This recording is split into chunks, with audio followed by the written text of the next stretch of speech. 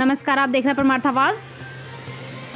Mathura DM office में ज्ञापन दिया गया, जो किसानों पर केस हो रहा है, उनको वापस लिया जाए, और जो हो रहा है भ्रष्टाचार, उसके खिलाफ आवाज़ उठाई जाए।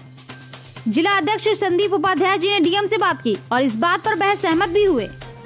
वहीं एसपी राघव, मंडल अध्यक्ष जी, आदि कार्यकर्ता शामिल रहे।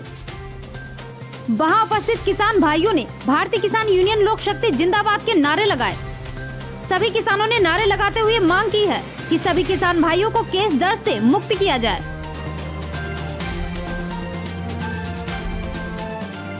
मथुरा ब्यूरो चीफ पवन शर्मा की रिपोर्ट।